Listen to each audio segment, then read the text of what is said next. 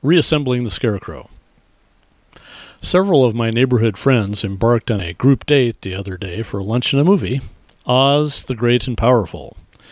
It was a very enjoyable romp through a seamless continuation of the Oz world created by Frank Baum and famously unleashed upon the world in the 1939 movie The Wizard of Oz.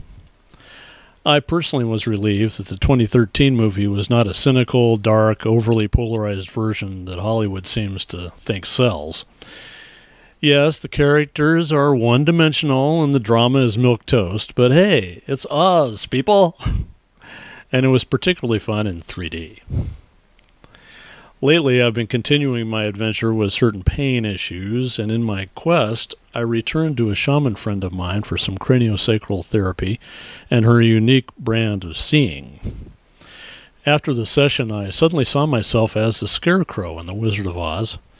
During the scene where he's been attacked by the flying monkeys and ripped apart.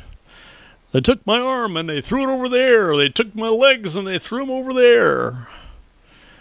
The spiritual metaphor for me is how the soul can also get ripped apart, leaving a part in 1980 trauma, 1993 ecstasy, or a 2001 earthquake, or even in past lives.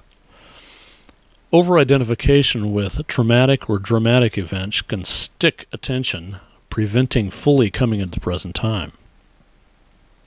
My intention for the shamanic session was to retrieve my creative center, which I felt had been scattered. It has been like having all the equipment to create a painting, but the brushes are in the bathroom, the canvas is under the bed, and the paints are in the garage. But you don't know that, so when inspiration strikes, there's no way for it to express. I said to my shaman friend, I feel like I have an entire warehouse of ammunition, but nothing to fire it with or at. Many of the processes or life lessons I've gone through and end up being about freeing unconscious attention from some past event where I was deeply affected, but I didn't realize it. I usually spot a sort of disconnect between outward and inward experience.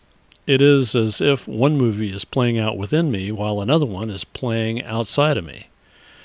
This is the realm of the ego and its trusty cohort, the mind. All the socialization, past judgments, and past decisions about how life is all go into this inner movie we, we, mistakenly call life. Sages through the ages have all told us that life itself is without judgment, without decisions about what is right and what is wrong. These are all entirely human created and it all rolls into one big common movie we call Life on Earth. Can we truly know what reality is? Yes. Just by being aware of the question, it proves that it is knowable. The thing is, we get so distracted because, as in the scarecrow, they threw my arm over there and they ripped my leg off and threw it over there, that we think that that is what life is all about. In this episode of The Scarecrow for me, I did retrieve arms and legs and my creative center, and I gained a new mindfulness about where my mind automatically goes in the course of any given day. Where does my attention go? How do I feel when it goes there? By paying attention, more of the self is retrieved and now available to pour into the beautiful artwork we all can be creating called life. This is Boyd Martin signing off for the Vibrant Living newsletter.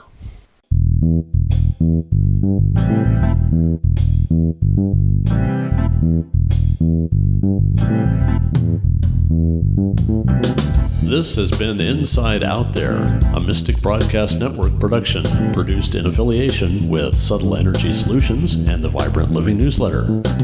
Subscribe to this YouTube channel to stay informed about new episodes and visit us at www.subtleenergysolutions.com, where quantum physics meets personal health healthcare.